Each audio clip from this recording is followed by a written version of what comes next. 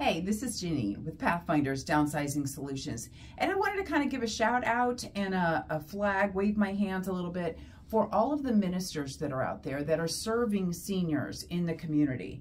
If you guys are looking for what we call is content, but basically information that we can share about our services, about what it is to downsize, what it is to move through transitions, life's transitions. You know, this is a journey.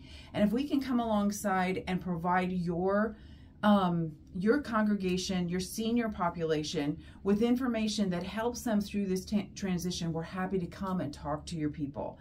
Um, a lot of times, a lot of them, there might be a widow's club, or it could be that you're part of a, of a congregation. It could be that you're a minister. It could be that you're an adult child that you know you know your mom and dad are real involved but trying to go through that transition. If we can come and help you guys with some great tips we're happy to do so. So reach out to us 855 our path or and i can never remember this phone number so i'm going to cheat 855 687 7284 it's pathfindersdownsizing.com or you can um, reach out to us at info at pathfindersdownsizing.com thanks a lot